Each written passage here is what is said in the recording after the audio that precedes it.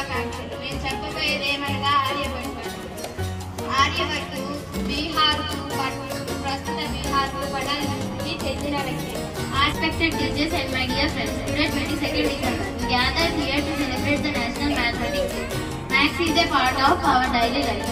You can see Maths everywhere. Srinivasa Ramanujan, the man who knew infinity. His birth anniversary is being celebrated as the National Mathematics Day. He made great contributions in number theory, continued fraction and infinites. One of the most important finding was the infinite series of pi. He was expert in trigonometry at the Vedic max age of 12.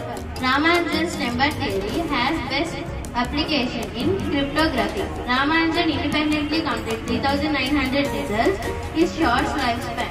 He was the first he was the first Indian fellow of Trinity College. He died at the age of 32.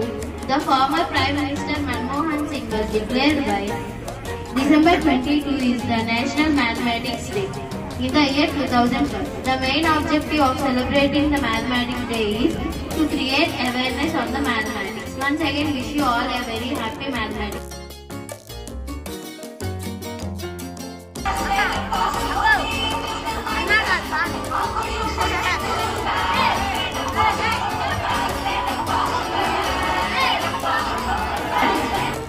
Was born in Erode, Tamil Nadu on December 22nd, 1887. His father's name was K. Srinivasa Iyengar and his mother's name was Koma- Komaratma.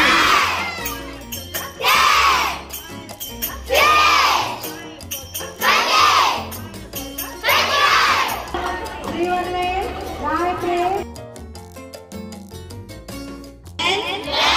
principles, principles, all sons, with happiness,